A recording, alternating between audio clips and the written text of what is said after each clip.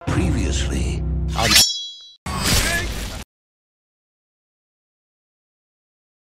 In last episode, Team Avatar finally found new way to spend their life. They were smugglers, now they are bounty hunters. They want to win Emperor's trust and help slavers to control the bandits and lowlights.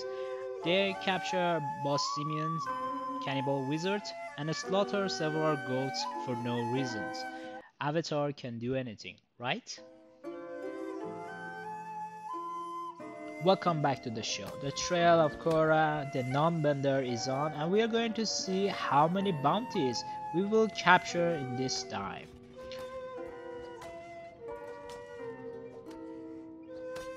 Since you are not able to enslave me, let's have fun with you.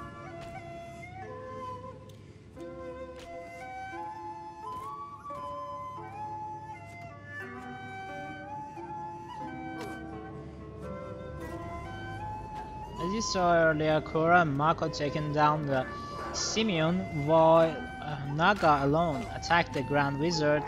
So far so good. Korra wants to make sure the land of Empire is secure. If not, we do whatever we can to make this land secure, make the Emperor happy.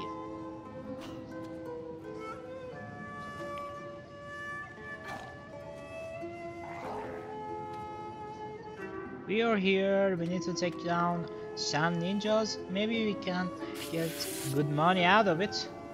An unwanted guest. Okay, we are good to go.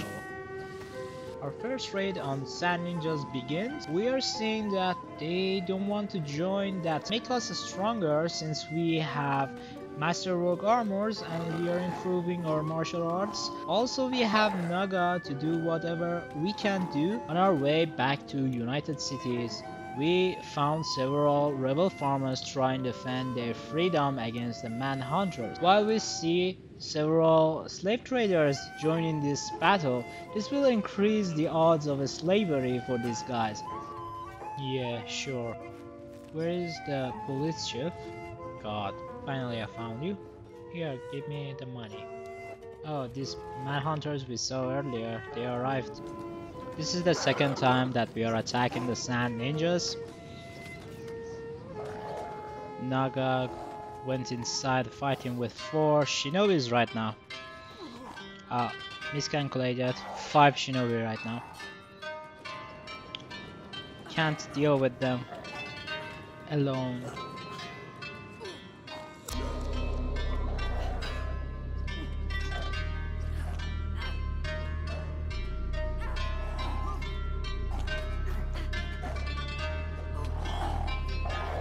Sand ninjas are now hostile towards me. Good. Because they won't live any longer.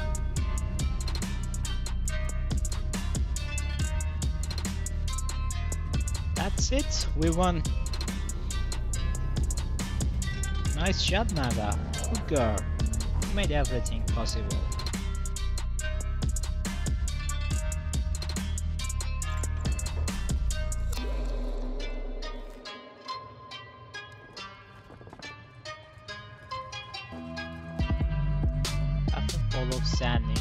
Looted an armory and we are here to sell all the items we found in the armory.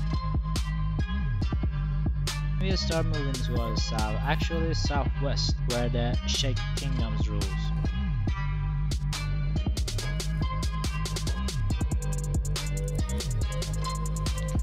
Once we become strong enough to attack the Shek Kingdom, we will be their enemy too. But for now, we will work for them get some bounties. More cash for the Avatar. Avatar needs to have an enormous fortune and make love with her bank account. So, right now we're attacking the card, the Chosen. These warriors are really ruthless and strong. But for our stat, they are not out. Good, we now have reinforcement from the nomads. Where's the bounty? There should be a bounty on your heads. We didn't find the bounty, we came for. We go inside see if we can find him or not. I hope the Nobat help me to clear the floor and kill any Shek who serves the car.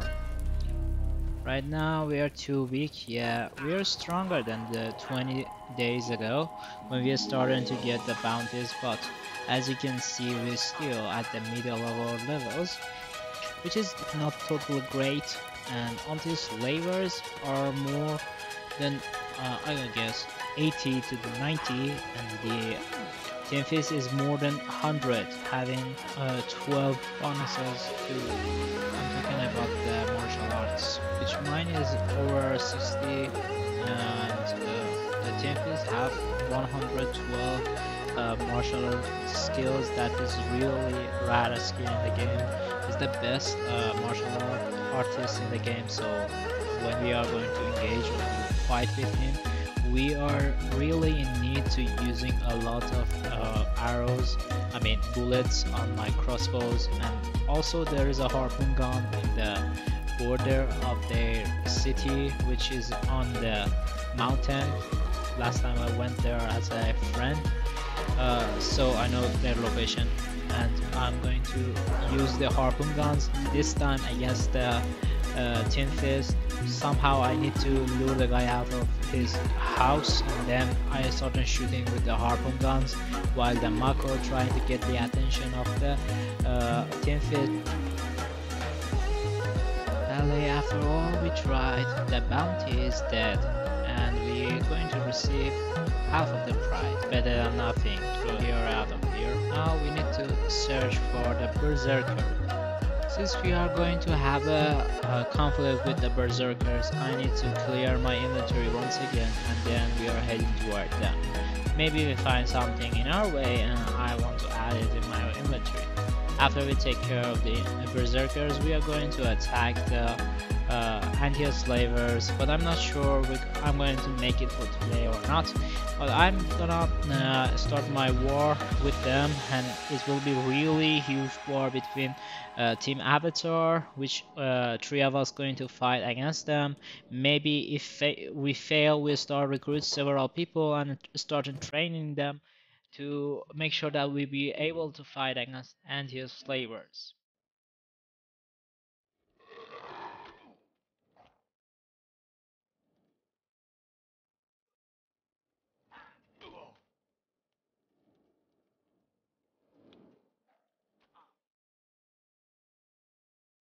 See, I told you, berserkers are not worthy to give a shot. They are more like the rebel farmers or dust bandits, but we just wanted to clear this place.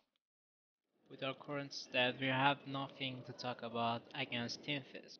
Tinfist can kill us both if we don't use armor, and if we use armor we cannot fight because he's faster than us, which is making this guy is one of the greatest, uh, uh, you know, greatest boss in the game. So anyone starting fight against Tin Fist should have a lot of ammo to be able to take care of this guy.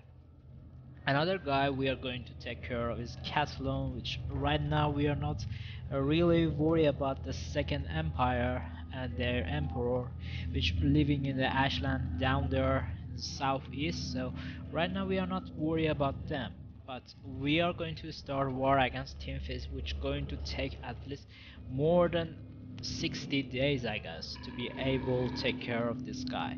If we were lucky and if I was lucky and I'm born lucky like that I will I will be able to do that. But right now I'm really not sure I will be able to take care of Tinfist or not let's give a shot and see what happened next. After we give these guys to the, uh, I don't, I don't know, the, the hundred guardians, something like that.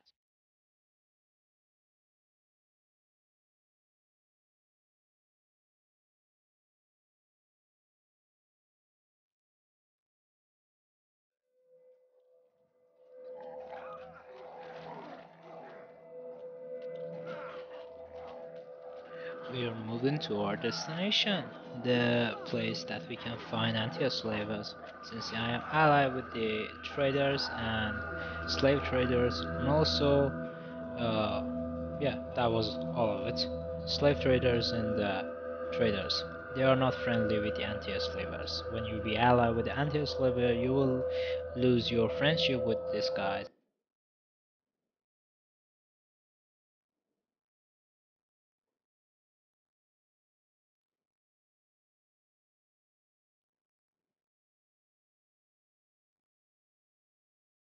The strategy of fighting against the anti-slavers goes on their weapon they are using.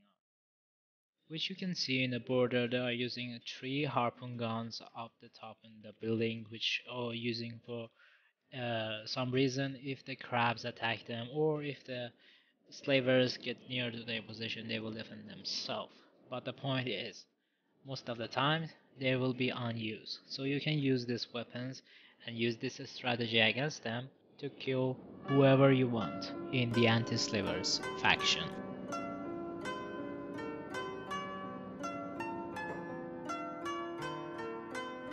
I'm not going to use the harpoon guns against this anti-slaver, he's just a bodyguard. But they also have almost specialist to high grade, uh, you know, uh, dust coat on their on themselves. So they are not totally useless. Also their stat is high too, but we have the armor, they won't be able to do much damage on us. This story is not same with the Fist, I'm telling you that. He can destroy everyone.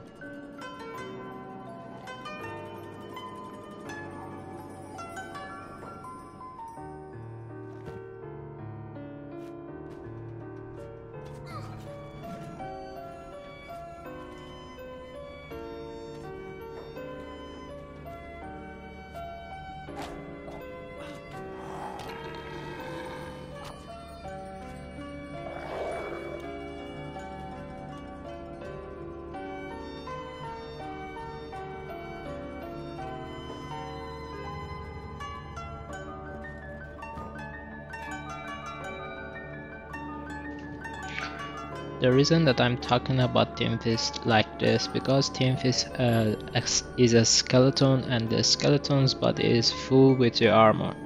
If you put the this dust uh, coat on them and put this dust coat on the level of Masterworks with the samurai pants, this guy will be totally unstoppable, which give you 12% uh, 12 uh, you know 12 level boost on your skills. And this will be really hard to deal with you. So Tinfist is really god in the game because he has a normal armor and also he have some kind of boost for his uh, fighter style. And he's a skeleton. Skeletons uh, can really be annoying since you cannot cut the, uh, them with your weapons or katana or any weapon. This will be really hard to fight with the skeletons who have uh, hundreds levels with his uh, martial arts and dodge it will be really hard. You only have an option using the harpoon guns and the crossbows. This will be able to destroy the guy. Uh, we are going to back to United Cities so I guess I will be end this episode around here. Make sure that you are subscribing my channel and like this video. The tale of Avatar Korra, I mean non-bender Korra is still on and we will continue this tale for at least 300 days.